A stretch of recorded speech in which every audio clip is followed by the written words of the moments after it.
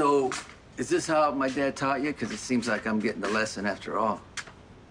And I got to tell you, I, I really appreciate this because what we're doing right now, this is like family time. Fathers passing down sons.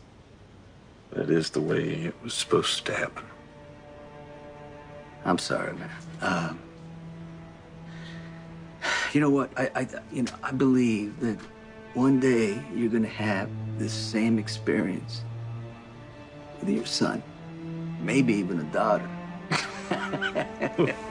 and when did you get so enlightened?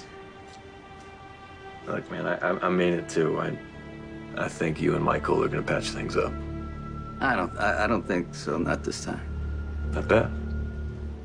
He's not just angry. He's actively trying to take me down.